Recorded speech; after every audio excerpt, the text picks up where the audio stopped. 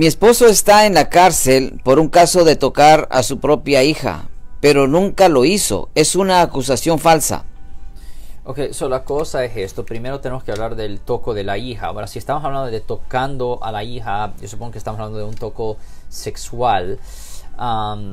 Generalmente el toco de, uh, el castigo potencial de un toco depende en la edad de la supuesta víctima, pero generalmente si la víctima tiene menos de 14 años y si estamos hablando de tocar um, uh, pechos, trasero, vagina, eso generalmente es una violación del Código uh, Penal sección 288 uh, paréntesis A, es un delito mayor que conlleva una pena potencial de hasta 8 años en la prisión estatal. Eso es un acto ludo y lascivo con una menor de edad. Ahora, si la víctima tiene más de 14 pero menos de 16, um, eso es una violación del Código Penal sección 288 paréntesis C y eso es un delito mayor pero conlleva una pena potencial de solo 3 años en la prisión estatal.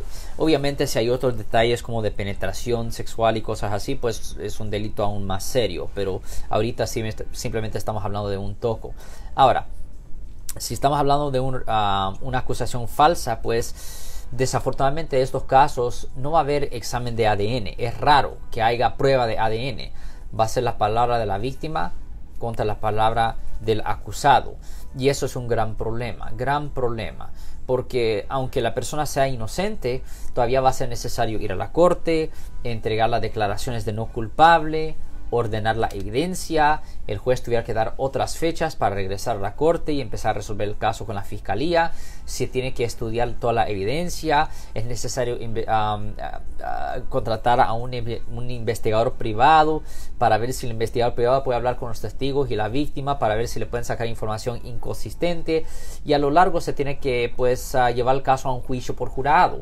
En un juicio por jurado traen a 12 personas de la comunidad que escuchan la evidencia o la historia y ellos desafortunadamente ellos votan basado en sus sentimientos.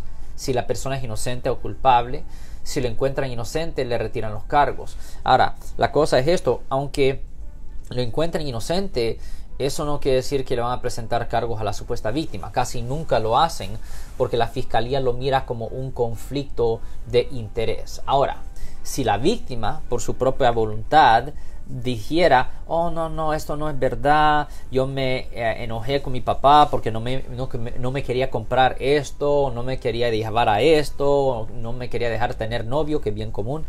En esas circunstancias la víctima pudiera decir que es pura mentira y es posible que le presentaran cargos a la víctima por ser reporte falso, pero así que es, es raro que hagan eso.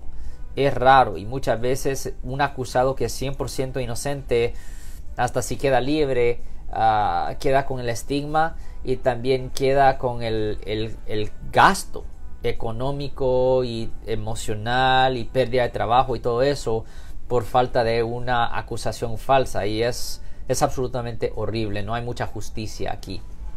De cualquier forma, si usted quisiera aprender más sobre los casos penales, los casos criminales y de manejar bajo la influencia, no se olviden visitar este canal de YouTube, Abogado Criminalista Ari de la Bahía, y suscríbase.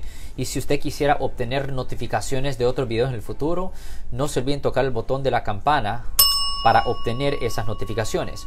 Pero si alguien en su familia, si un amigo suyo, si usted ha sido arrestado por haber cometido cualquier delito aquí en el área de la Bahía, Norte California y necesita representación en la corte, llame ahora mismo para hacer una cita gratis. Nosotros estamos aquí localmente en el área de la bahía representando a todos los latinos que han sido arrestados por haber cometido delitos. 1-800-530-1800. Marque 1-800-530-1800 y recuerde que la primera consulta es gratis. Alexander Cross, abogado criminalista.